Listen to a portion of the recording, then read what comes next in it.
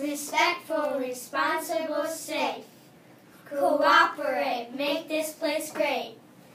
Good morning. Today is is Friday, May 6, 2016. This is a D-Day. My name is William Nusinka. My name is Rayanne Goring. And my name is Isabel Borwick.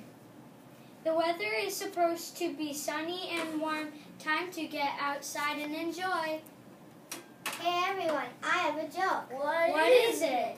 Why do bananas have to put on sunscreen when they go out in the sun? I don't know. Because they're afraid they might peel.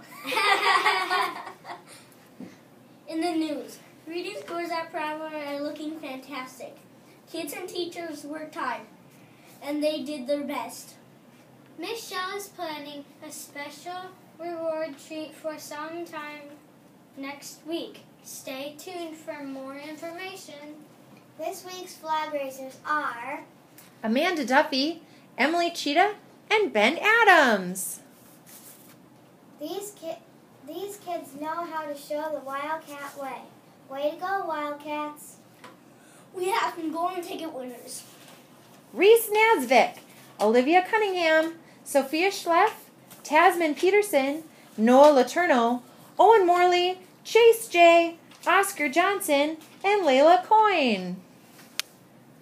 They got caught making good choices. Please stand and face the flag for the Pledge of Allegiance. And have a wonderful day.